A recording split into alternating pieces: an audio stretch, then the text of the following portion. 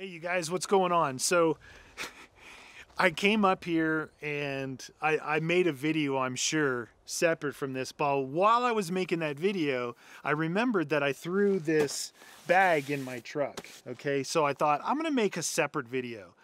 I'm here. Why? Why can't? Is it illegal to make two videos with the same clothes on in the same area? I don't know, but I'm gonna do it. So here's the deal. Uh, quick uh, recap. I it was a Saturday afternoon. You know, it was noon when I left, and I just went. I just wanted to take the truck out and go somewhere. And I started going. I kept going and going and going. Hour and a half later, I ended up up here, and I didn't bring any food. I didn't eat before. I didn't eat breakfast. I didn't eat lunch. I didn't stop anywhere. So I, all I've had today is a cup of coffee. I always have water in my truck. I usually leave two to three bottles in there. I'll usually bring out a cold bottle with me. So at minimum four bottles of those 16 ounce bottles of water. Usually pretty good. But I didn't bring any food. I didn't eat. But the other day, you know, after I got the truck, I had I had made this bag. Okay, this is what I call what do you call it? It's like it's an emergency, a just in case bag, an emergency bag. I used to keep this in my work truck because I would drive all over the place. I would drive, you know, talking about starting in California, I would drive to Las Vegas, drive to Phoenix, drive to Texas, drive up to San Francisco. And if you've ever made any of those drives, you know that you break out of the city, you're going across, you know, deserts and stuff like that. So it you never know. Maybe maybe you get a flat tire, maybe your truck breaks down, you're out in the middle of nowhere. So I put together an emergency bag um, in case something like that happened. Even though I always brought food and water on those trips, I'd bring like a little cooler. This always just stayed in there. But here's the crazy thing about it I made this years ago, probably four years ago, and I don't think I've changed anything out since then. And I haven't looked in it. I don't know what's in it. So this was just sitting in um, the living room, the hallway. It was just sitting in the house. And I remembered, oh, I got that bag that I put together I got in my new truck. Um, I have in the Jeep, it's different. In the Jeep, I don't have a bag. It's all kind of in the Jeep. I've got compartments and the stuff, the kind of stuff that's in here is already, it's always in the Jeep, but it's not in like a bag like this. Once in a while, I think I did throw this in. Long story super long, I think we should take a look in this to see what's in here uh, to um, see. Okay, so this bag here, I know a lot of people are interested in bags. So you, if you can see, there's a, a nice big pocket here. It's big and thick. A nice pocket here.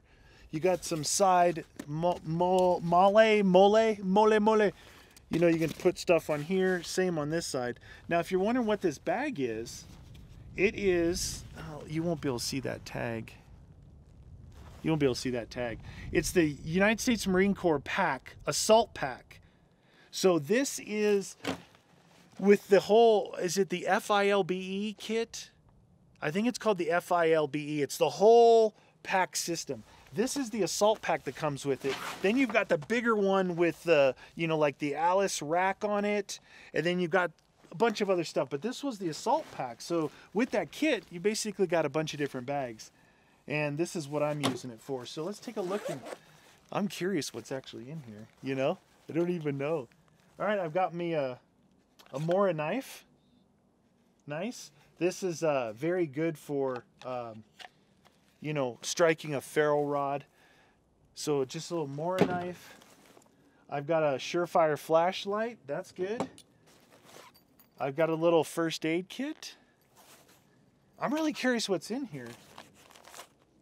I've got a uh, uh, dressing, a sterile wound pack. Usually when I get first aid kits, I'll add to them and you know add other things, maybe even outside the pack. So this this little kit here, this pocket here is for all that. Got some wet ones, wipes in a in a Ziploc.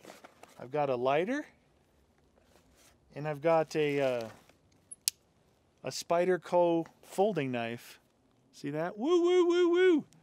This is man, I've had this forever. This is the police model. It's all serrated. I had that knife a long time.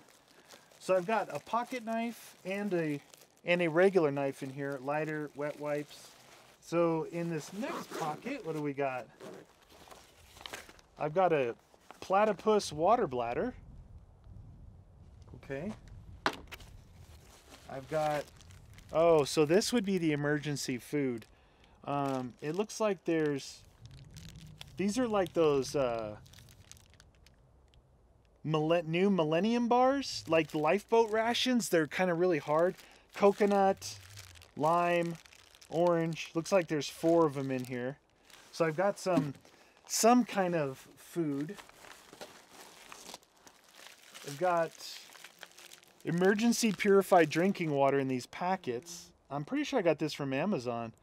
Wow, do these have dates? I better check the dates on these things because, like I said, it's been in here for a while.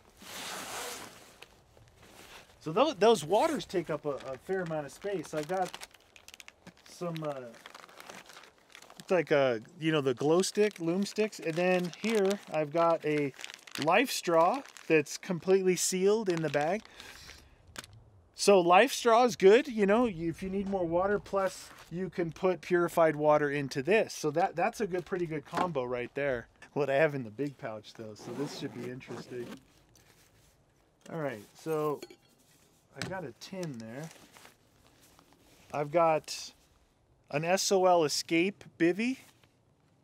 It's a big one. It's good size. You see how big that is? So that would be like a a bivy, you know, like it's like a sleeping bag cover you could get in. Almost like a space blanket except thicker, more durable, and you can completely get inside it. So I've got a bivy. I've got some black trash bags, you know, the big ones, the thick three mil type. You can use these for a lot of things, cover, all kinds of stuff. Um, I've got a belt in here. I bought this belt and I've never used it. All right, so there was a time I bought one of those food, food, uh, what are they, you know, the food saver things. So in here it looks like I've got, I can't tell what those, oh, these are like uh, Dickies pants. I've got a t-shirt. I've got a pair of socks and looks like a pair of red underwear in there. So I've got basically a whole set of clothes that are sealed in here that's I don't know why I thought of that. Maybe you got wet or something you needed to change out. Maybe you just needed fresh clothes. So I got a belt. Looks like I got some gloves. These are Blackhawk kind of assaulter gloves. Got a shemagh, you know, the scarf thingies. You know what I mean. These are really handy too, surprisingly. Now, is that everything that's in there? Oh no, Looks like I've got myself uh, a nice military style headlamp that has infrared on it, IR. And I've got two regular emergency blankets in here. This is not a bad little kit. And again, this is one I've been carrying around for four years. Not a bad little kit. That looks like everything that's in a big pouch. Now, what is this? So, this is titanium to give me like a pot to boil water in, to cook things in and it's called it's from Vargo titanium called Bot. Bot.